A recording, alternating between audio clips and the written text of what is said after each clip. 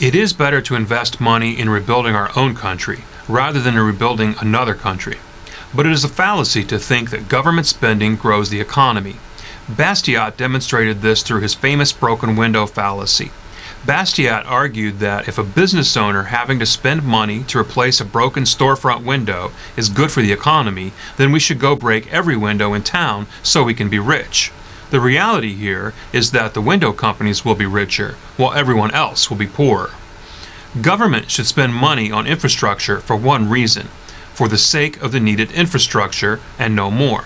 Some infrastructure problems require immediate responses that need to be managed by the federal government and therefore funded by Congress. But states don't need an act of Congress to repair their own roads. State and local governments should be responsible to solve these problems.